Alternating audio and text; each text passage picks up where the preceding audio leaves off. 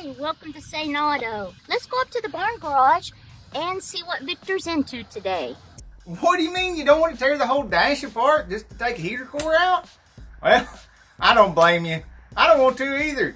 So that's why I'm going to show you how I back flush a heater core. Now, no matter what kind of car it is, Corvettes, more Corvettes, Mustang, the first thing you're going to need to determine is the flow of the fluid. And it comes out the top of the engine here on this Mustang and goes towards the heater core. And we don't have to go all the way to the firewall to take it loose because it has handy connections right here. And you can disconnect both of these. One of them goes into a bucket. The other one you need to connect your hose to. And the one you want to connect the hose to is the one that normally comes out of the heater core. On this Crown Vic, the hose is up, up here near the top of the firewall. Could be on the passenger's driver's side, doesn't matter. They're usually up near the top where you can get to them. There are exceptions to that rule, like this Toyota Camry, which is normally very easy to work on no matter what you're doing, except down there is the heater core hoses. Not that easy to get to. Of course, an alternative to at least one of the hoses is to come up here near the thermostat housing and take it loose here. Apparently, I'm brain damaged or there's something else wrong with me because I've chosen to do this on a Prius. But you have to take all this stuff loose, wiper motor and everything's got to come out just to get access to the hoses. Which, yes, they're near the top of the firewall there, which normally would be easy to get hold of, except for all this cowl and everything. All that mess does fill up the table, but it's a lot easier with the little Ryobi One Plus, which I put a link in the description to all the tools and parts that I use on every video I make. Now, I know these kind of pliers are normally used for fencing or electrical work, but a good heavy pair of pliers like this works really well for these pinch clamps. To pinch them and work them off of where they're up there. And if you don't have any of those, some channel locks work really well as well. And then the channel locks have a second function here. You can open them up pretty good down in here and grab your hose and don't smash the end of the pipe under there. You want to try to get that hose to rotate just a little bit before trying to pull on it. That way, as you rotate back and forth a little bit, it just comes right on off of there fairly easily. And just repeat with the second one.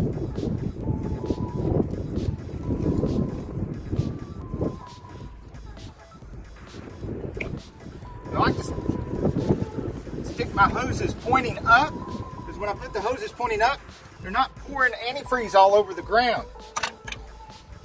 You don't want a bunch of antifreeze all over the ground. Or, and, and when you put the stuff in a bucket, don't just leave the bucket unattended because you don't want animals to come up and drink out of that bucket. Now I know they, they say this antifreeze is so much, newer antifreeze is so much safer for animals and all that kind of stuff. They make big commercials about it and they make a big deal in their commercials about how safe it is and everything. But do you really want your pet drinking that stuff?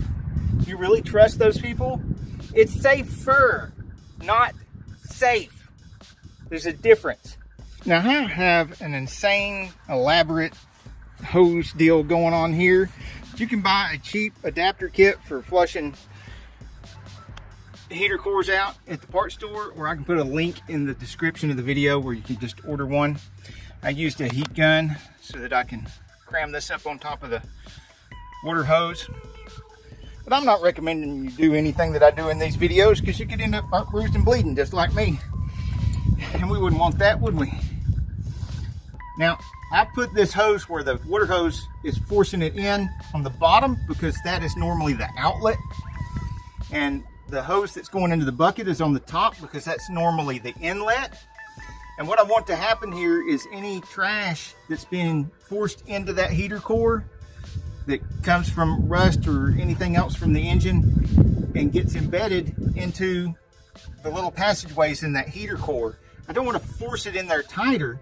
I want to back flush and force it to come backwards out of there through this hose. So that's why I'm hooking up my hoses backwards from what the normal flow in the car is.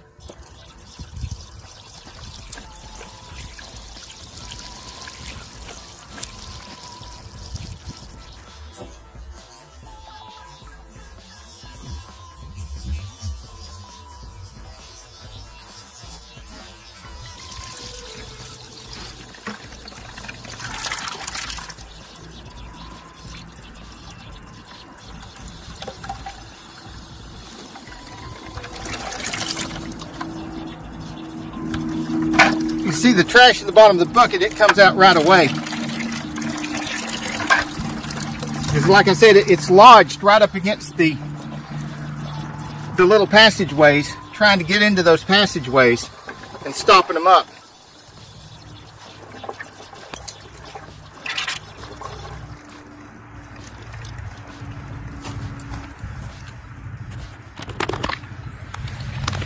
So it doesn't really take much get that stuff to go ahead and start coming out. Let's see.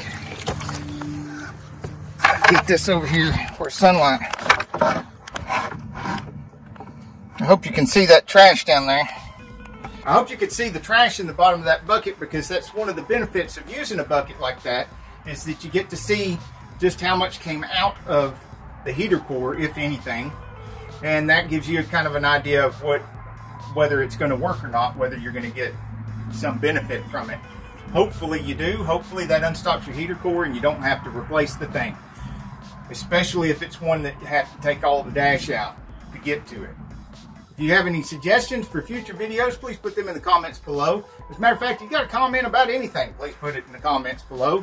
Those really help out the channel. Thank you for watching. And if you're still watching this to this point, you are awesome. Hey, if you like this video, we got a whole lot more. We've got tool reviews, we've got repair videos, we've got show car videos, hot rods, mod rods, you name it. If it's got wheels on it and an engine, it's probably on this channel.